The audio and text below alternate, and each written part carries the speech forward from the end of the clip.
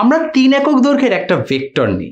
এই যে একটা ভেক্টর দেখা যাচ্ছে, তাই না? এ থেকে বি ভেক্টর এই তিন একক ভেক্টরকে যদি এখন আমরা প্রকাশ করি, আমরা প্রকাশ করব কীভাবে? এ বি ভেক্টর আকারে, যার মান হচ্ছে তিন একক এবং ডিরেকশন হচ্ছে এ থেকে বি বরাবর। আমরা এখন এই ভেক্টরটিকে ভাগ করি। আমরা একে একদম তিনটা ইকুয়াল অংশে ভাগ করে ফেললাম।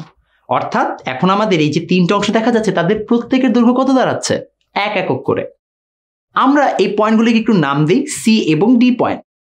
তাহলে এ থেকে সি এর দৈর্ঘ্য হচ্ছে এক একক, কিন্তু এই এসি যে ডিরেকশন এবং এবি যে ডিরেকশন বা আমাদের যে দিকটা রয়েছে, তার কিন্তু একই দিককে বোঝাচ্ছে। মূলত এই যে এসি ভেক্টরটা এখন আমরা পেলাম, এই এসি ভেক্টরই হচ্ছে মূলত এবি ভেক্টরের একটা একক ভেক্টর এর অর্থ হচ্ছে, আমরা যদি একটু খেয়াল করে দেখি, এটির যে ডিরেকশন সেটি এবি বরাবর, কিন্তু মান হচ্ছে একক এই ধরনের ভেক্টরকে আমরা বলছি একক ভেক্টর তথা আমরা প্রায় এটাকে এভাবে সংজ্ঞায়ন করি যে কোনো ভেক্টরকে যদি তার মান দ্বারা ভাগ করা হয়, তাহলে আমরা তার দিক বরাবর একক মানের যে ভেক্টরটি পাবো, তাকে আমরা বলি একক ভেক্টর অর্থাৎ কিছুই না, আমরা যদি কোনো একটা ভেক্টরকে তার মান দ্বারা, অর্থাৎ তার একই দিক বরাবর যদি কোনো একটা একক কেটে নেই, তাহলে আমরা কিন্তু মূলত একক ভেক্টরটা পেয়ে যাচ্ছি। এখন চিন্তা করি অবস্থান ভেক্টরকে এটার জন্য আমরা এক্স ওয়াই জেড তিনটা অক্ষ নিয়ে ফেলি।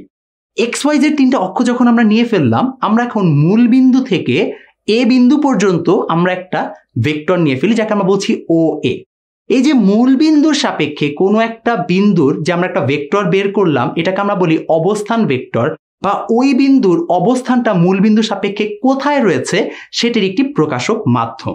এই যে আমরা অবস্থান ভেক্টর কথা বলছি, এই অবস্থান ভেক্টর ও এ কে আমরা অনেক সময় এ এবং নিচে একটা যে ছোট চিহ্ন দেখা যাচ্ছে বা একটা ছোট একটা আন্ডারলাইন দেখতে পাচ্ছি এইভাবে আমরা প্রকাশ করতে পারি। এখন চলে আসি, অবস্থান ভেক্টরটা বোঝা গেল, স্মরণ ভেক্টর কাকে বলে? চিন্তা করে দেখি আমাদের এই অ্যাক্সিসের মধ্যে এখন এ পয়েন্ট থেকে বি পয়েন্টে তার একটি স্মরণ হলো বা একটা ডিসপ্লেসমেন্ট হলো। তাহলে এ থেকে যে বিতে আমাদের একটা স্মরণ হলো, এটাকে আমরা বলছি স্মরণ ভেক্টর বা ডিসপ্লেসমেন্ট ভেক্টর প্রশ্ন হচ্ছে, এই স্মরণ ভেক্টর এ কে আমরা কি অবস্থান ভেক্টরের সাহায্যে কোনোভাবে প্রকাশ করতে পারি কিনা? আমরা এখন ত্রিভুজের যোগের মাধ্যমে বা ভেক্টরের ত্রিভুজের যোগের যে সূত্র রয়েছে, তার সাহায্যে বিষয়টাকে ব্যাখ্যা করার চেষ্টা করব। আমরা ও থেকে এ পর্যন্ত একটি দাগ টানি এবং ও থেকে বি পর্যন্ত আমরা আরেকটি দাগ টানি।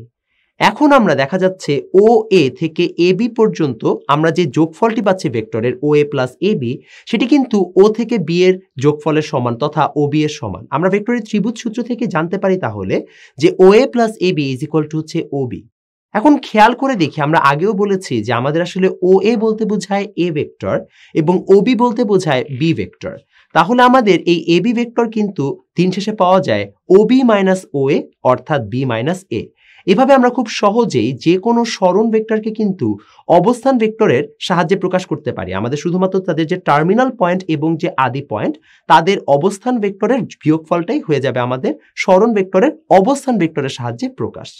এর অর্থ দাঁড়াচ্ছে প্রত্যেকটি স্মরণ ভেক্টরকে আমরা খুব সহজেই অবস্থান ভেক্টরের মাধ্যমেও প্রকাশ করতে পারি।